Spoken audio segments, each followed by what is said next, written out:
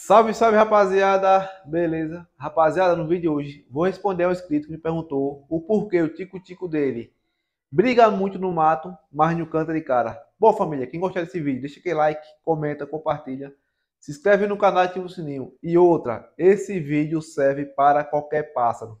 Tanto faz tico-tico, azulão, galho campina, qualquer pássaro serve, beleza? Primeiramente, vocês deixam seu passarinho brigar muito no mato? Tem que ver isso, porque tem passarinho que pega vício.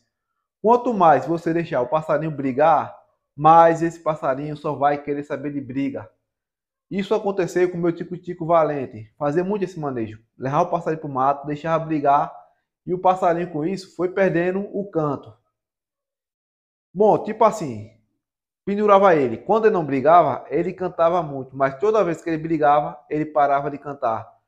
Aí com isso, o passarinho foi pegando raiva, foi pegando raiva, até que parou de cantar definitivamente. Quando o outro cantava de longe, ele respondia, mas quando o outro chegava perto, o passarinho já se calava.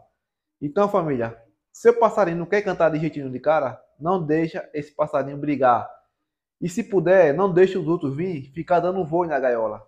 Deixe mais cantar de longe, para o seu passarinho poder pegar raiva do outro e começar a cantar à vontade de cara. Porque quanto mais esse passarinho brigar, menos esse passarinho vai cantar de cara, beleza?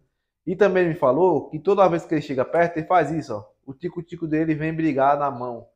Rapaz, se você faz isso, para de fazer esse manejo urgente. Por quê? Aqui em casa eu faço esse manejo. O meu azulão faz isso, o reprodutor, o azulão filhote está começando a querer vir na mão. Mas eu crio para isso aqui, ó. Reprodução. Já que é um passarinho para campo, não é interessante fazer isso. Porque isso pode até esfriar seu passarinho. Vamos supor aqui, ó, tá essa fêmea aqui no mato, brigando tal.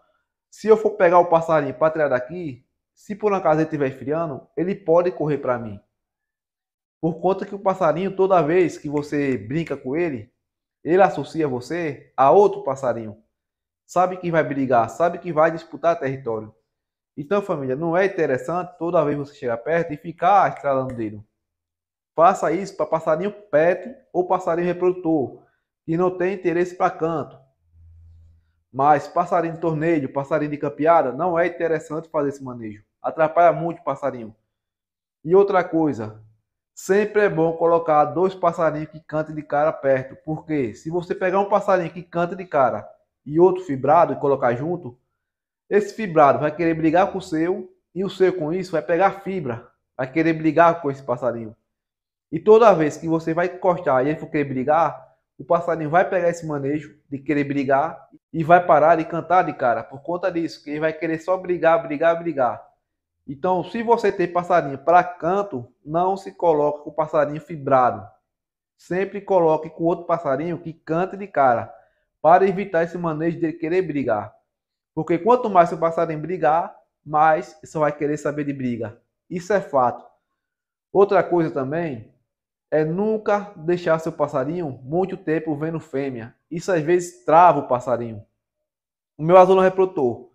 Quando eu deixo ele aqui no criatório, ele não canta de cara de jeito nenhum. Quando eu tiro levo para outro, ele só quer saber de briga. Já lá em casa, não. Eu pego ele, mostro o filho dele já começa a cantar na hora de cara. Porque o passarinho não está muito travado na fêmea, não está enfemeado. Isso também atrapalha muito. Às vezes o pessoal dá muita fêmea ao passarinho, já que quer um passarinho para canto, e às vezes trava o passarinho. Então, família, é um vídeo curto só para responder esse inscrito. Quem gostou, deixa aquele like, comenta, compartilha, se inscreve no canal e ativa o sininho. E qualquer dúvida, pode deixar nos comentários que eu vou estar sempre respondendo, beleza? Valeu!